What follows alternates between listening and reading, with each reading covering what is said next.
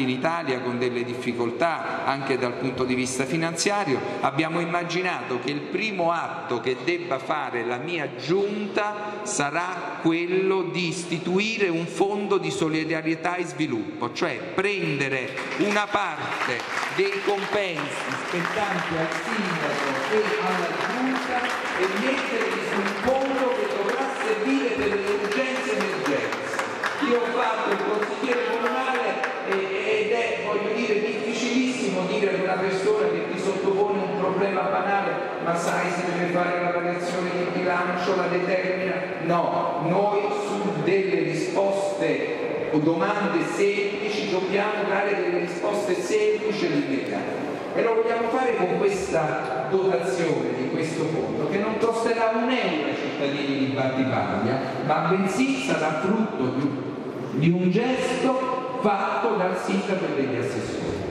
E ancora per chiudere in totale trasparenza e per chiudere questo cerchio non lasciando nulla al caso e non lasciando nulla alle contrattazioni che poi vengono fatte all'indomani nel chiuso di una stanza, abbiamo detto e annunceremo il 28 di maggio con una conferenza stampa prima la squadra di governo, cioè i cittadini di Battipaglia non voteranno un uomo solo al comando, ma con Vincenzo Investo sindaco conosceranno prima qual è la squadra di governo.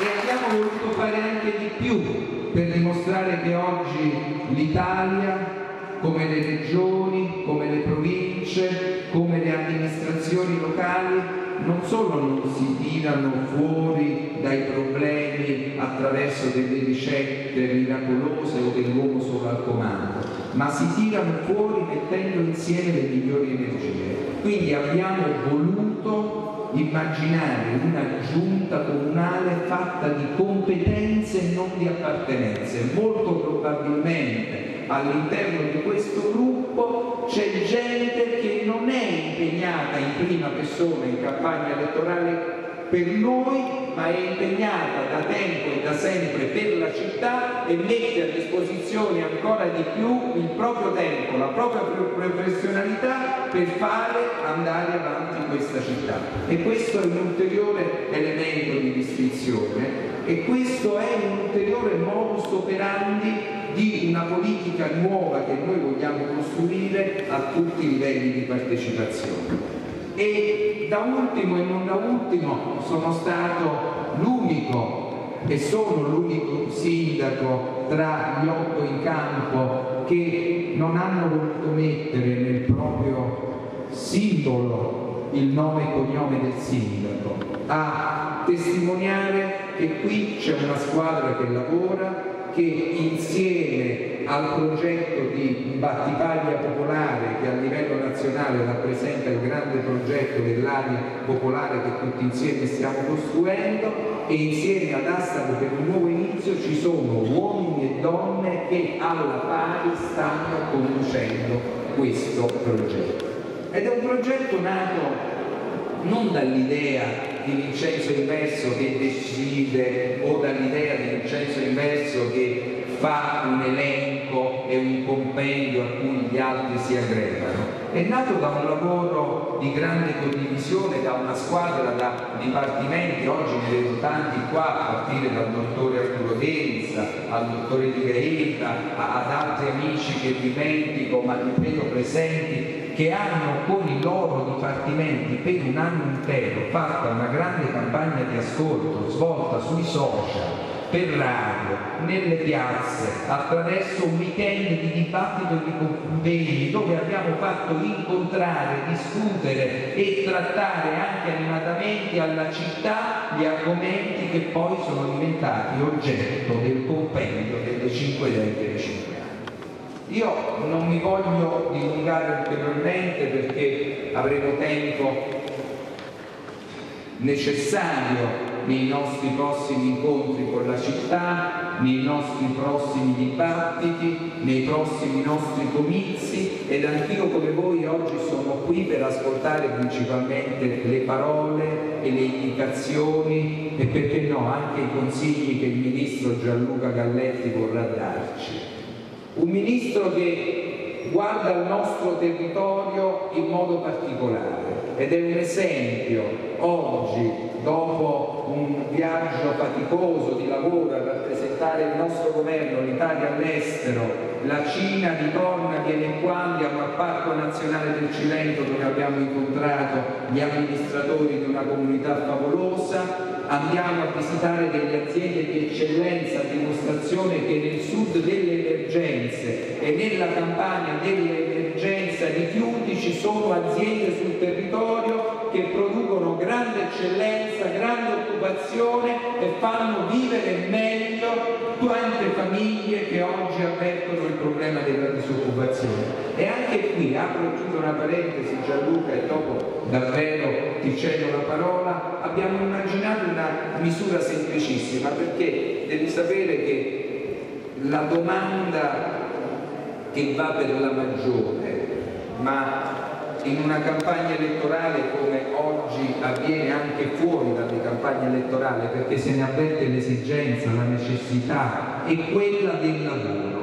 E allora noi a questa domanda abbiamo voluto dare una risposta che non è una risposta pensata per gli amici degli amici o per chi ti vota o per chi non ti vota ed è una risposta che abbiamo chiamato investi a battipaglia. Che cosa abbiamo pensato? tu sei anche un illustre dottore commercialista, conosci la materia e puoi anche su questo illuminarci. Abbiamo detto qual è l'unica leva su cui un sindaco, un amministratore, un consiglio comunale, una comunità può agire? Sono i tributi, le tasse comunali. Allora abbiamo detto noi mettiamo nel nostro programma un punto che prevede per gli imprenditori che vengono ad investire, assumere a battipaglia di non pagare tasse. Come lo facciamo fare? Lo facciamo fare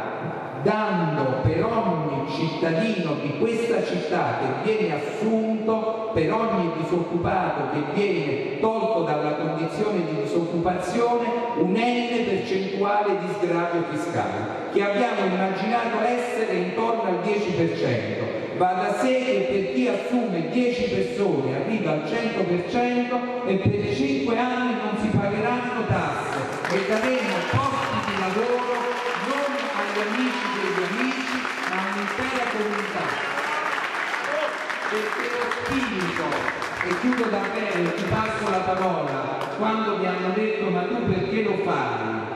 Lo faccio per un motivo molto semplice, per lo stesso motivo per il quale tutti voi state qui, per il quale l'intera città si sta spendendo, per il quale con me 48 candidati sono in campo, per il quale i sei assessori in pecora mi stanno dando la disponibilità, per il quale credo anche lo stesso ministro Galletti oggi sta qui. Io voglio dare una possibilità a mio figlio di poter decidere se rimanere qui o andare via da qui, perché c'è una differenza sostanziale tra il poter scegliere e il dover scegliere. Noi dobbiamo prima dare la possibilità ai nostri figli di poter scegliere se rimanere. Nella condizione di poter scegliere se dovessero decidere di andare fuori migliori e più forti di prima, ma se noi li lasciamo solo nella condizione di dover andare fuori, finiranno per fare i lavori più umili perché noi non gli abbiamo dato questa possibilità. E questo è l'impegno per cui oggi sono qui e per il quale lavoro alla mia candidatura di sindaco di qualche Grazie.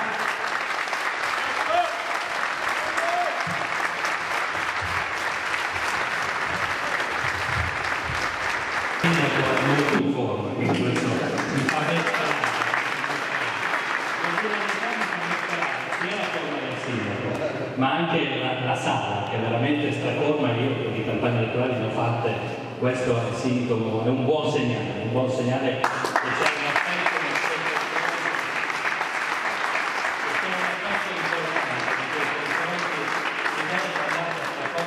percepisce è che è un affetto pulito, non è un affetto che mi interessa. La gente che qui ha voglia di cambiare, ha voglia di nuovo e ha identificato il tema nuovo ed è anche la ragione per cui sono qua io. Io eh, sto facendo campagna elettorale ma seleziono molti posti.